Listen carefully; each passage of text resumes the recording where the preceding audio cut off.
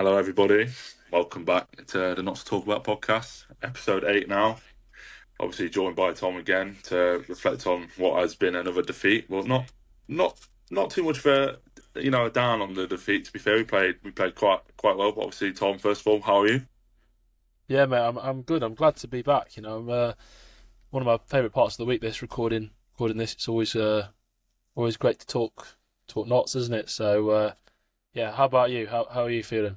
Yeah, good, mate. Good. I definitely can't complain. Pretty much in the same boat as you. So just dive straight into it. So obviously defeat at Wrexham again, like I just mentioned there, not not the worst uh, display by any means. Uh, your immediate thoughts on that?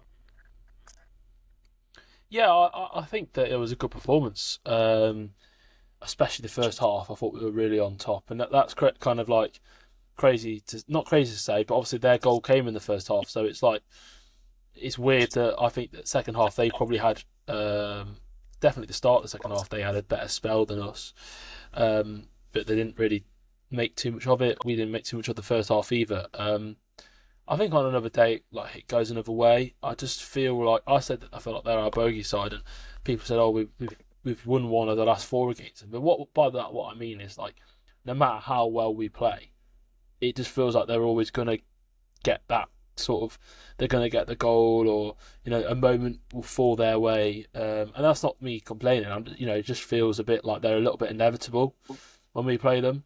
Um, and so even when watching it was like you just feel you feel uncomfortable when you play them. You can never ever like relax.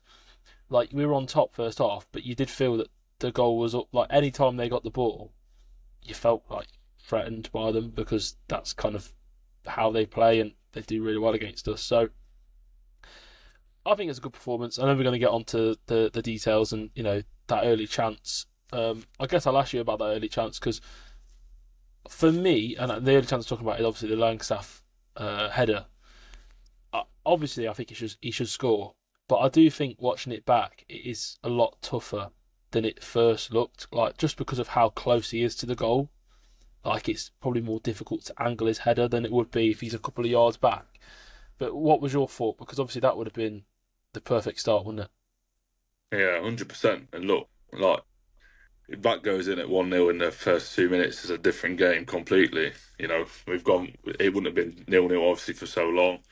And if you want any chance like that to fall to anyone on the team, it's Maka. You know, nine times out of ten, he's going to score that. He scored arguably two difficult, two more difficult headers in, at Newport in in the week. I get obviously the angle in that, but from from point blank range, someone like Maka should be scoring. It's as simple as that for me. Uh, I think he don't need anyone to tell him that as well. It's probably something he knows. I don't think he'll be obviously blaming himself, but end of the day, like that's in a big game like that, you know, that's that against a crowd, that's clearly on your back because that's just the kind of fan base they are you know, to, to silence them in the first two minutes would have been a massive help. And that's not me saying, oh, we would have gone on and won the game. But at least at that point, you know, you're you're, you're at one 0 and you look a lot better. You look a lot better off than obviously what we were because like tw- I think it was 20 minutes later we find ourselves one 0 down. So at that point, straight away you're already ruling your missed chance, especially a chance like that so early on against well, uh, not against, sorry, fall into a player, if you like, of the, the calibre of Maka, who you expect to score them sort of chances. Obviously, it's a massive part of the game, but you can't. Uh, there's obviously no blaming him. I think we, we created a lot, a lot. To be fair, you know, there's there's many, plenty of Jodi Jones balls into the box that were almost begging for someone to meet him. We didn't. To be fair, a lot of them were met by the Wrexham defenders who turned it towards their own goal and they obviously they they still to me class as chances because at the end of the day, from from the angle they were and they didn't look like they missed by much. And then obviously you had the Didzy one, which to be fair to the Wrexham goalkeeper made a good save, but you definitely aren't wrong when you said we had a rubber green in the first half. But then again, arguably against the run of play, you know they they have a they have a five minute spell if you like of, of where they're just you know attacking on us and they, and they score.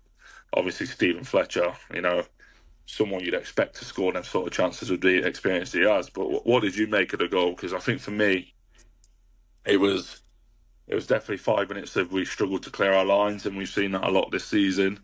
And obviously, in the end, we got punished. So, just penny for your thoughts on that.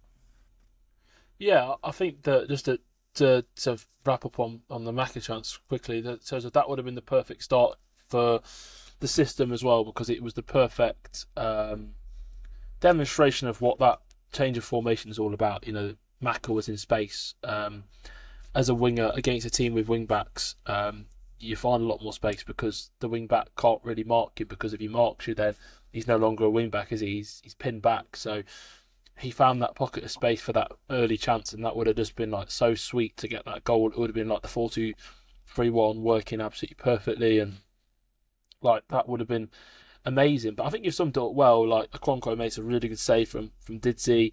Um, but the Fletcher chance, I mean, he's a great finish. To be fair, on his weaker foot as well. Um, and that's kind of like Steven Fletcher. I thought he was really good all game. I thought he just looked. You could tell he's played at the level he's played at. Like his his cushion of his head are down. It just everything he did just he just carried himself with class, didn't he?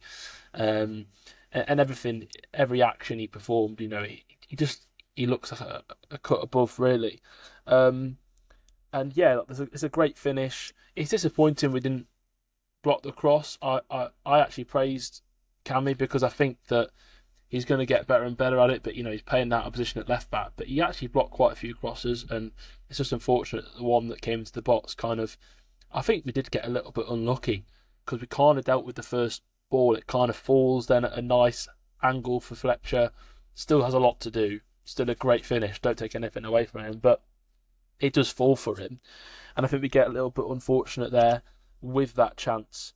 Um, but you know that's kind of where they they do their best work, Wrexham, and I think that's why after the game, um, we'll get onto that, of course, the, the reaction, and it was quite divisive, and I think I'd you know I'd put a tweet out saying they did they did their bits well, and I think a lot of Notts fans thought I was saying that they were the better team. I, I wasn't saying that, but what I was praising them for, because you have to give the team credit, because it's not like we've absolutely battered them and we've got so unlucky.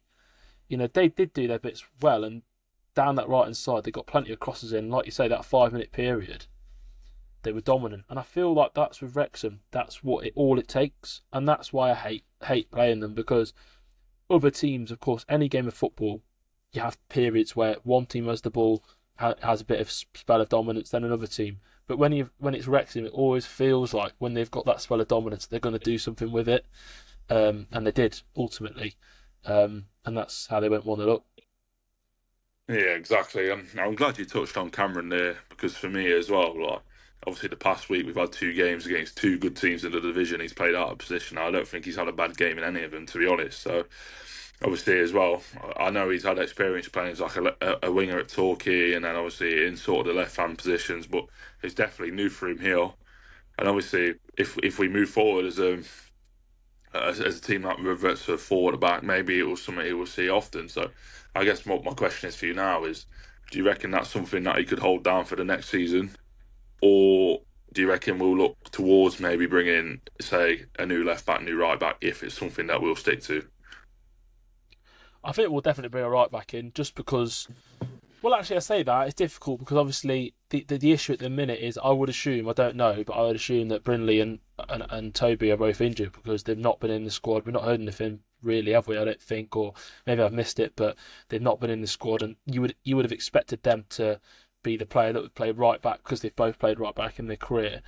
Um, in terms of left back, I thought Chicksen actually looked really bright when he came on in the second half. He looked quite lively, and him coming back will be will be a big will be big for us because he, was a, a, a, key player for us last season. I think you know it's it's quickly forgotten that how, how important he was under Luke Williams' side last last year, uh, and I think he can push Cammy for that spot starting spot. Um, I I do think that maybe long term in the summer, yeah, we might look at if we stick with the back four, we might look at um, a, a left back. But then again, I wouldn't rule out us using the back four for the rest of the season, but then going back to the five in the summer once we've had a chance to, to rebuild because the, the management team that have come in played a back five at Wealdstone.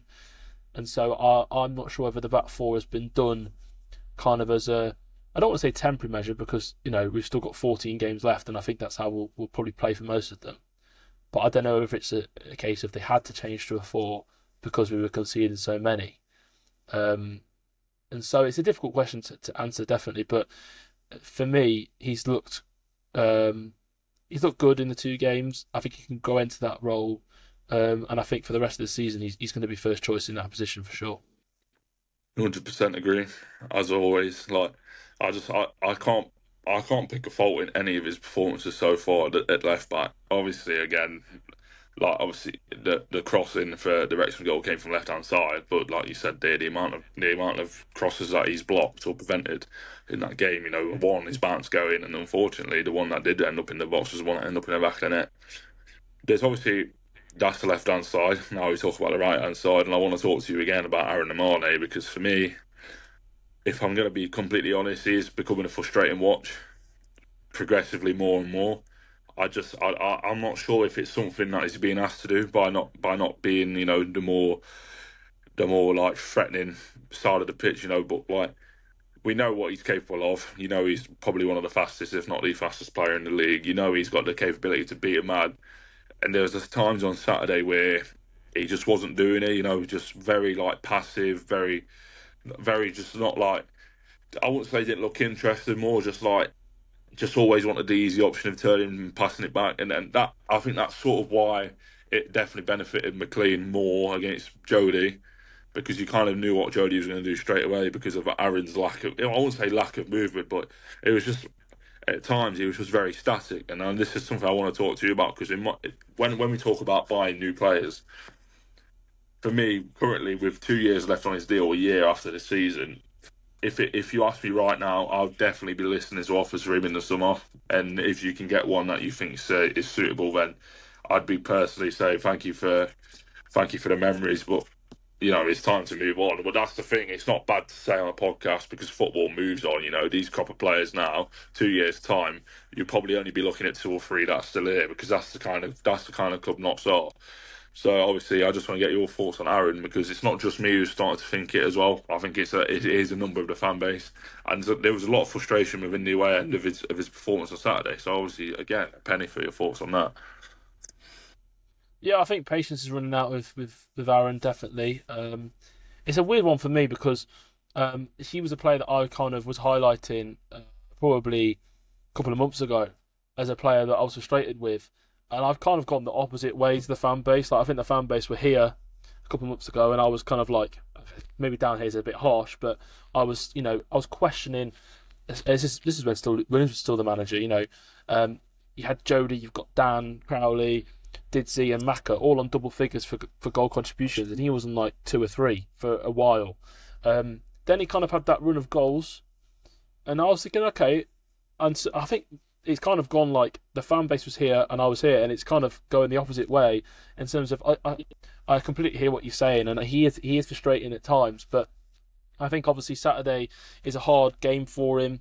Um, he's playing at right back in a four, which is you know he's never his position. I don't really think. Um, yeah, of course, I'm a little bit disappointed. I thought that that right hand side would have a little bit more of an effect against McLean. Um, in terms of like the double up. We didn't really see that. Um, I think it's difficult with him as well because he's he's brilliant running on to the end of a of a um, of a ball, but from a static starting position, like he's not like Jody who from a static starting position can take a man on. But we saw it. I think there was a moment in the second half where Aaron got on the ball. He took on to a free, like he had a really good run, and when he gets going, he's really hard to stop. He just doesn't get going enough. And I think there's a combination of things there. I think one, it's confidence with him. And I think too, I think it is harder than it probably looks. He because he's got so much pace, you kind of almost. And I think you know I'm guilty of this as well. You almost expect him to take a man on, but it, it is difficult and it's very um, you know explosive actions which are tiring for him. Um, I think that him having a, a drop to the bench really benefited him against Newport. And for me, he's a player that if we do use that back four, and I think when Lewis Macari gets his fitness up massively, he's going to be first choice at right back. I mean, there's no doubt there. Aaron, you might start seeing a little bit better of him because he's going to be coming in from the bench, probably in the winger positions against tired legs. He should have more of an impact there. So I think it's one where I 100% understand the frustration and people are running out of patience with him. Um, but he's another one where I think maybe he, he needs, like for as much as himself, a little bit like we said with Aidan Stone, he kind of needs a little bit taken out of the team for his own benefit. You know, um, I think that maybe him dropping to the bench and becoming an impact sub for the next few games, we might start to see a little bit more from Aaron uh, in that role. So I wouldn't write him off completely yet, but I do completely get the frustration and, and where it's coming from for sure. Hmm, hundred percent. And look, because I'm not saying I'm writing him off. I just think from what you know, you what from what we know that he's capable of, and what we're seeing on the pitch right now, it's understandable that there's so much frustration. And look, obviously the big talking points were uh, some of the decisions from the referee at the weekend. And before we talk about this, there's obviously something I'd like to address as well. Um, so obviously we're going to speak about this right now, and I've there was a I don't think you would have seen it, but I saw it because it was quite late on a Saturday night. But there was a certain uh, podcast from the Wrexham side that thought it'd be a good idea to screen record a certain podcast from the Notts side, and then try and tweet it out in a manner where they were they said something along the lines of, um, "Oh, I've got all the time in the world, all the time in the world for the podcast." Um, uh, but such and such, like take it with a pinch of salt or something. And then they, they tweeted a clip where it was kind of like, I don't want to, I'm not, look, you, you probably have an idea who, who, who I'm referring to here. They know because I've spoke to them about it, the Notts side. So they tweeted, they tweeted a clip of, um, so the Wrexham side, they tweeted a clip of the, the, the Notts podcast of, of a clip that he was being honest in the clip, but it was in a way where, you know, what the Wrexham podcast was looking at doing was obviously trying to like draw it out a little bit and obviously have a pile up of comments. And one thing I'd like to say is if you if they are watching this podcast Wrexham side trying to screen record some for uh, for a few clicks on Twitter, be my guest. But at the end of the day, do not do not tweet things like "Oh, I've got all the time in the world for your podcast" and then try and have a pile up of shit comments. Sorry for the language, producer Char. That's just the truth don't don't contradict yourself because at the end of the day, if the roles were reversed, you wouldn't like comments like that on your podcast. That's what I want to say on that. So let's get into the referee decisions, Tom. Uh, obviously, the first one I want to talk to you about was the the Elliot Lee one. You've seen the photos of him grabbing Robertson around the neck. Look, I'm, I'm not saying it was red. It it, it was very, it, it weren't anything in the malicious in, in the malicious sense of like strangling, but last time I checked, putting your hands around the throat of an opposition player, you know, you've got to ask the question. So I want to get your thoughts on that. Yeah, I, I mean, I know both players got booked, um, and I don't know. You can't see from one photo if there's something leading up to it, and I haven't. I haven't. I'll be honest. I haven't seen it back, so I don't know if there's an altercation leading up to it. Um, so I have to put that in there that you know both players got booked, but I can't say categorically that Robertson didn't deserve a booking because there might be a build up to that. But based off based off the photo, it's it's bizarre to see that both players um, got booked for sure. Um, look, it's not it's not um, nice to see, but what I do what I do want to raise there is in terms of Robertson is that I think it's brilliant that we've got a player that's. Uh, I saw someone say he's got a bit of fire in his belly, and I like that. I think he, I think they're right. He's got a little bit of that needle that we've perhaps missed. We're a very nice football team, and even though we've had a lot of yellow cards and and, and it's never really been because we've been you know uh, making cynical fouls and stuff. Um, and I just think he's got that little bit of needle about him, and I and I, and I do like that. Um, but yeah, the uh, I mean, from the photo, it doesn't look great, but like you say, like photos can be taken. Um, I guess like the clip, uh, you're right. I I've not seen the clip, but I guess things can be taken out of context, so it's difficult to base it on on the photo. But yeah, I have seen the photo, and it, it doesn't look amazing. To be fair, no, it doesn't. And uh, I'm pretty sure if obviously roles were reversed in that situation, obviously different fan bases will be asking for different things, and that's just football, I guess, at the end of the day. Uh, but I like your points about Robertson. I think what you're starting to see now is that nitty gritty midfielder that we have been missing. I thought Saturday broke up the play very well. You know, in in in, in a midfield with with obviously Bostock again against uh, probably one of the best midfields in the league. You know, Elliot Lee, Cannon, players like that. You know, they're no pushovers, but I thought Robertson held his own. Uh, so yeah, hundred percent agree. I think he's been a brilliant signing. first and foremost, I know if obviously Fleetwood fans again weren't weren't biggest fans, but if he's going to play like that for us every week, I'm sure we're going to be bigger fans of him than they were. So yeah, perfect business for us. And then obviously the the massive talking point of the game, I think, was obviously the disallowed goal. Look, I'm under no illusion, right? That if this if this goal was scored by the other team, you know they'd probably have a bit more bit more luck than what we had you know, I, I can't see a world where that gets disallowed for the other team personally. That's just me being honest. But again, you know, it's another thing that caused a massive debate online. For me personally, I still stand straight by what I said. I, I don't think in a world where it's where it's been handled that clear and obvious, you know, they took, that's the that's the massive phrase in this day and age. You know, clear and obvious. At what point is a man where the ball? You know, I'm looking at my shoulder now because that that's pretty much where it hit. You know, it was the shoulder area. Yes, okay, the arm was moved towards the ball, but it didn't hit it didn't hit an area of the arm where you can look at it and think, okay, that was that was a clear attempt to, to handle the ball. No, absolutely not. Last time I checked, if you shoulder a ball into the back of the net, that counts. And in my opinion, it hit the shoulder. And even then, on the replay, like it, it, it showed a part where it hit his uh, chest, etc., or torso, whatever you want to call it. And look, I just think it was harsh. I think obviously Stuart, Stuart Maynard came out at the end and said it says a lot when the opposition players don't contest it obviously the referee, you know, for whatever reason disallows it. And again, I don't agree with it. I think that was, but again, you know, you can't look at that and say, "Oh, it was the referee's fault." We had we had chances to score. Again, Robertson had a chance himself in the second half, and obviously it was another good save. But if you look at that, where you've had the ball in the back of the net, and yeah, okay, it was disallowed, but I think it was wrongfully so, and I'm pretty sure you will agree with me there. Yeah, well, f- firstly, the tweet I put out, um, I-, I want to clarify something, and and uh, it might sound like I'm sitting on the fence a little bit, but I initially the the reason I put the tweet out, and I said I think the word I said was, you know, it's not your day when this is given against you or something. What I meant by that was uh, kind of what you alluded to was like you just like nothing like Maka missed the chance early. On another day, he scores that. Uh, we get a goal ruled out for handball, a borderline decision on another day it goes for you, and another day it goes against you. And what I kind of meant by that was like it's a borderline decision, and on a on this day, like the the the, mo- the fine mo- moments of fine margins have gone against us. Um, but people started responding to it um, in terms of like I'd said, oh, it's never handball, and uh, to be honest with you, I could not be bothered to to like retweet it and explain that I was kind of saying that it just feels like it wasn't our day because that would have taken far too much to explain on on a tweet. You've got limited characters, and I thought, you know what, it is what it is. Let people have their assumption of what what I've said, because to be fair, from that video, it wasn't conclusive.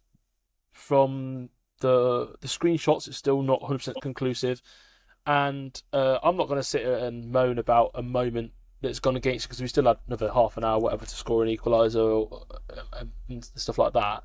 But it does feel a little bit disappointing that you know um, that in those games it just and, and it, it, that's what I mean. It just felt like this wasn't going to be our day. We played so well first half, and to go in half one 0 down at half time, it's like this is not going to be our day.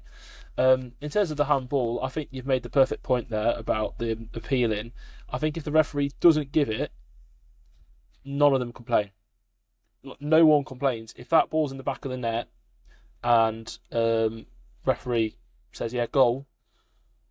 Was there any appeals? Um, not that I was aware of.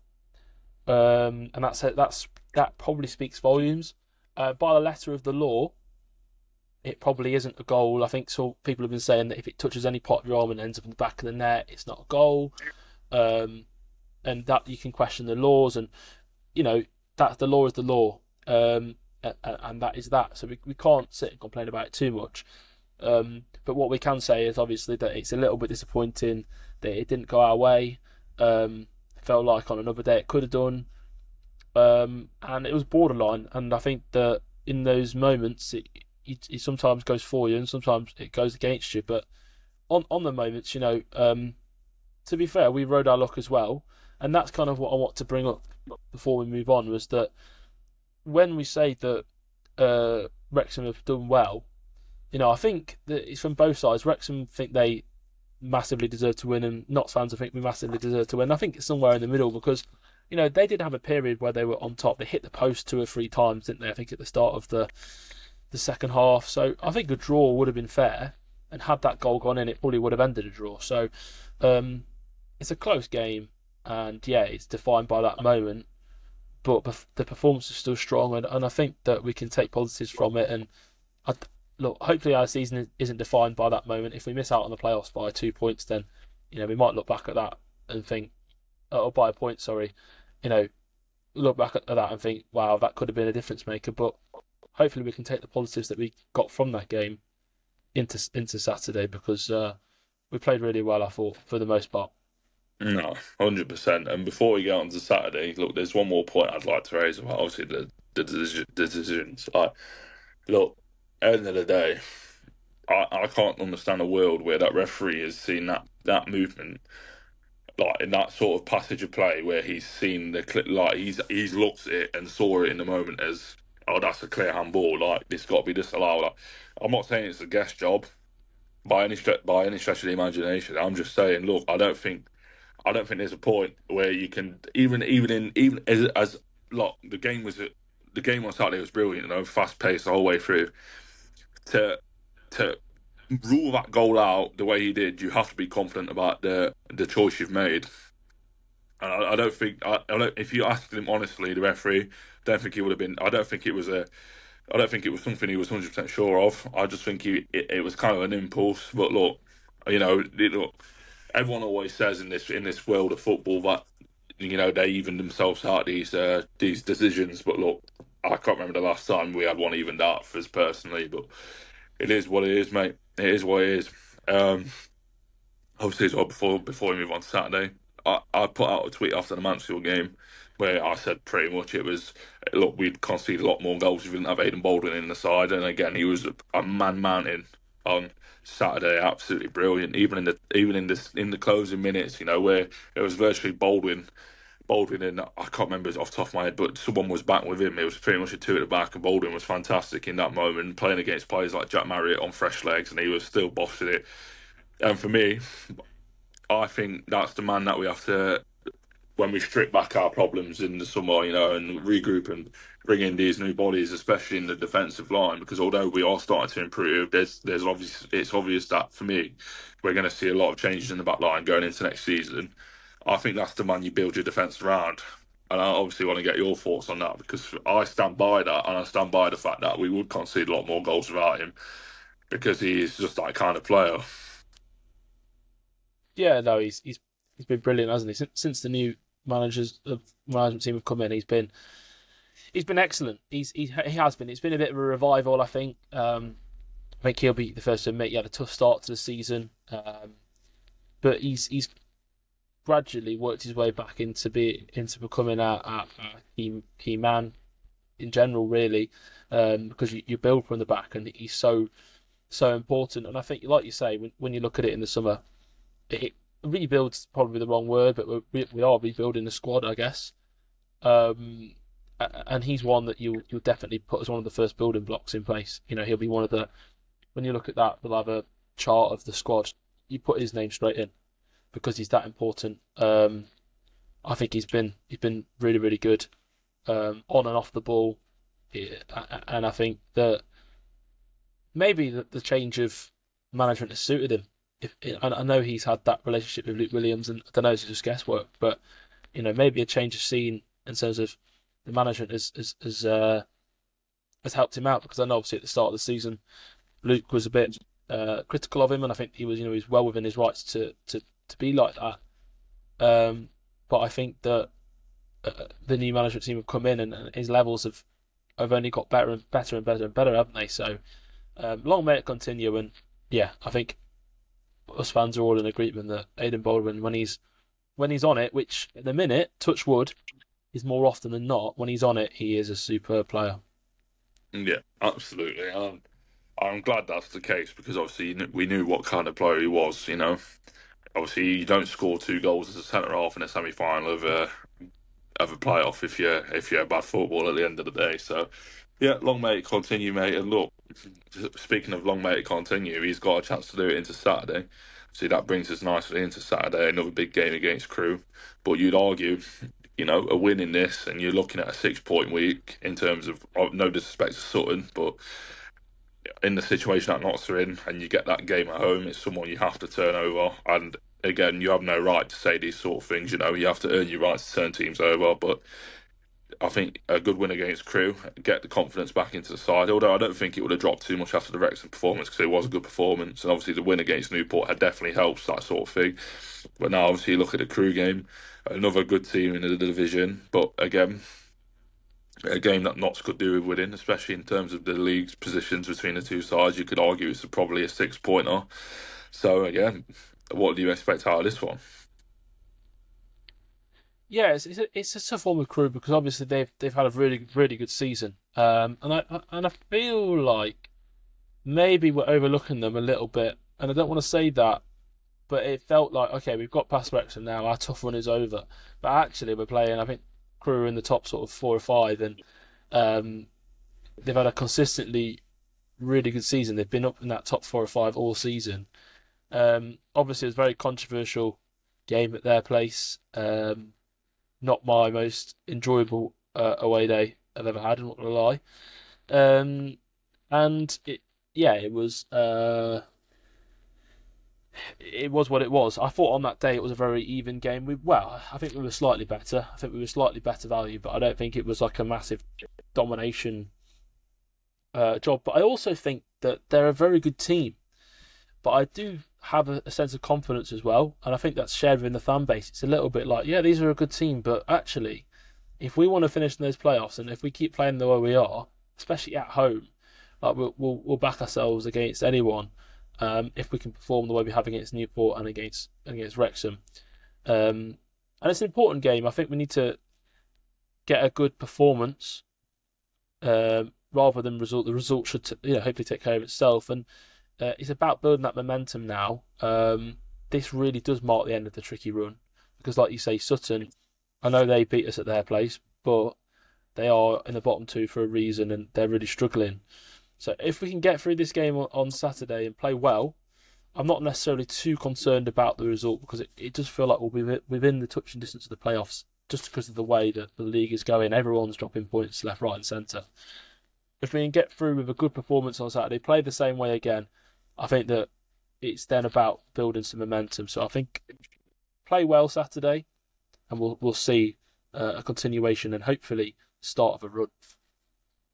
Yeah, absolutely. And look, I'm glad you touched on it there because although we're looking up at the league and obviously being in the playoffs, you got to look below us as well. And there's not there's not too much in terms of point differentiation between us and you know the likes of 14th and obviously the playoffs. We're one point outside the playoffs, but I think it's only two points off 13th. You know, that's how close it is. Which obviously, and then you look at this game at the weekend against a team that's in and around you, it is definitely a real six point factor. And you said there, obviously, hopefully you're putting a good performance and the result will take care of itself. I'm I'm not overly fussed about however however we play, as long as the game finishes with we score more than Crewe because ultimately the win this weekend is massive for me you know, like I said, the six pointer is cliche in football, but this really is a six pointer. And we went, we played against Crewe this season. Obviously, again, we had another decision go against us that day. Um, again, goes back to my point about things leveling themselves up. I don't know when that's going to happen for us, but clearly not anytime soon. But um, yeah, we, look, we was up. We weren't in the best. We weren't in the best form when we played them away, and there weren't too much difference between the two teams. Look, you'd argue it was probably a nil-nil game and then that happened at the end. But look, if that's anything to go by uh, on Saturday, I know obviously Crewe had some good good results previously. Obviously, I think uh, beating Stockport away was a, a massive highlight. Um, but look, these are massive games for us now. We've made the, we've made clear improvements in the last few games, and I think eventually you're going to add them all together, and we're going to have to turn somebody over. If you ask me if it's going to be Crewe or Sutton, I'd probably say it was Sutton, but I don't see a world where it can't be both especially with how we played in the past few games. Anything like the Newport performance, I think you'll be looking at a win. Uh, so I kind of you kind of get the idea where my score prediction will probably be going for this one. Um, but yeah, look, it's a massive opportunity to to claim three points, put out a statement, and then again, you look into it, you get three points here. You're going to Tuesday night against bottom of the league you know, obviously they have every right to come and play for play for a win, as every other team does in this league. But I, would fully expect Notts to win that with good with good comfort, especially with that extra bit of fire in the stomach from the opening day defeat, like uh, opening day embarrassment, really. And then obviously you move on to the Bradford game, where obviously you're going to be backed by 2,700 Notts fans. So we have a good chance this week to maximise points. And obviously this could come back to bite me and say it. I, I do. I, I can see a world where we do maximise points, but in terms of this game, my score prediction for Saturday is very simple. Notts three, Crewe nil. I just think it's going to be one of them games where you know you, you feel sort of an injustice how Saturday went, and I just think the the amount of defensive improvements that we've made, you know, look, uh, and I said it, I've said it before, I'll say it again. The Mansfield result, okay, we got beat one 0 It's not a bad result when you look at the team that went there the week after and got turned over nine two, Wrexham away. You know, you've only conceded once. That's if you if you went there a few weeks prior, you know, it could have been three or four quite comfortably with the way we were playing.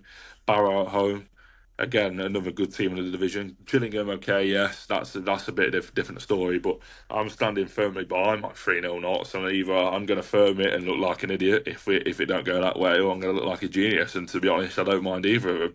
So again, I'll throw it right back to you. What are you expecting on Saturday? And can I get your score picture, please?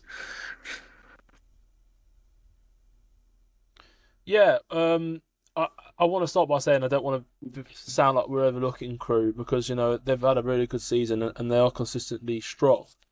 But looking at their last five, you know they've got that win over Stockport in there, but Stockport also lost recently to Tranmere, who um, I think it was four 0 loss uh, to Tranmere. So they're not the Stockport that we played over Christmas. You know they they, they are uh, in a, in a bit of bit of trouble.